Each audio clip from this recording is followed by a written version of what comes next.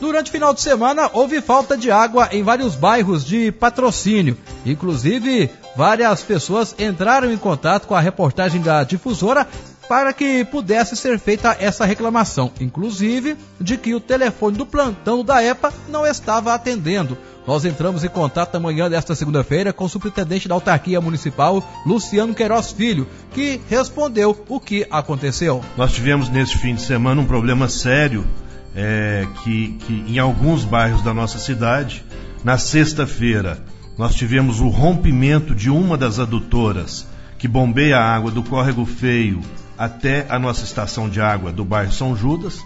Esse, essa adutora foi consertada na sexta-feira mesmo, de imediato, mas isso fez com que nós tivéssemos que desligar todas as adutoras. São três adutoras, nós tivemos que desligar todo o sistema na sexta-feira para fazer o reparo dessa adutora. E com isso, é, por ser um fim de semana, Renato, os reservatórios abaixaram, já que o consumo no fim de semana, na sexta e no sábado, é muito alto.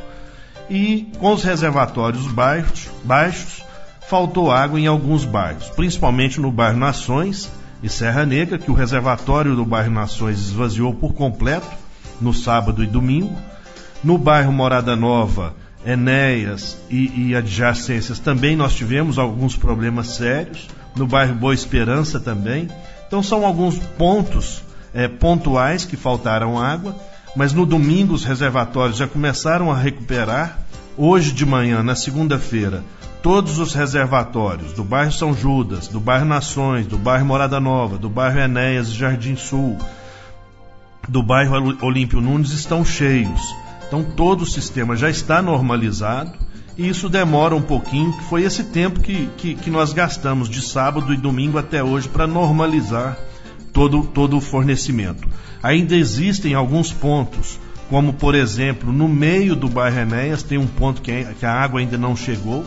Nós não estamos sabendo o que, que, que está acontecendo, que nesse parece que são dois ou três quarteirões que está faltando água. Nós já estamos com a equipe lá olhando desde de manhã mas o reservatório já está é, cheio novamente. A gente acha que até o final da tarde todas as residências já estarão com, suas, com seus reservatórios cheios e o, e o fornecimento totalmente normalizado.